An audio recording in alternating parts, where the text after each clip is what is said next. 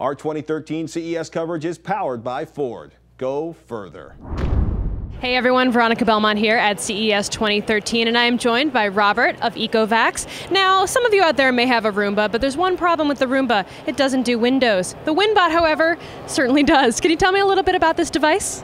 Yes, the uh, WinBot will do a frame or frameless type window. It's very easy to use. It has uh, two microfiber pads on it.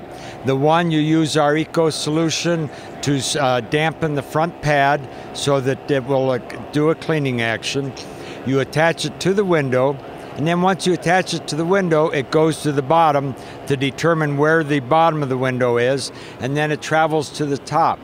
That determines what the height is. Once it's got the height, then it goes in a zigzag pattern back and forth, cleaning the window, wiping the dirt from it. When it gets to the bottom, it says, I've reached the bottom. Now is the time to do the perimeter because as I make my zigzag, there's areas that have not been cleaned. So I then clean the perimeter, then once it's cleaned the perimeter and gets back to the bottom, it says I'm done. So now I need to go back and stop where I was placed on so the consumer can easily grab me to remove me from the window.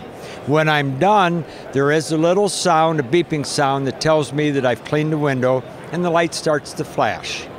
And what kind of batteries does it use? Does it have a have a regular charger that goes back to?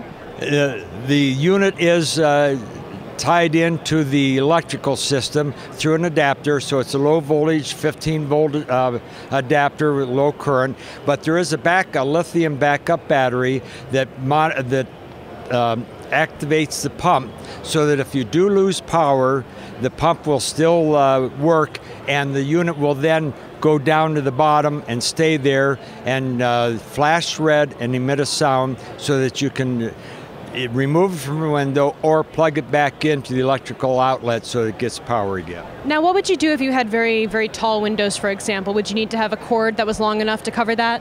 Yes, on the unit we have a connection, interconnection, so that you can buy six foot extension lengths to, uh, to be able to clean real tall windows or real wide windows. Now, what is exactly enabling it to stick to the window pane? We have uh, suction chambers. There's two suction chambers. The inner suction chamber is the main one that does the holding power.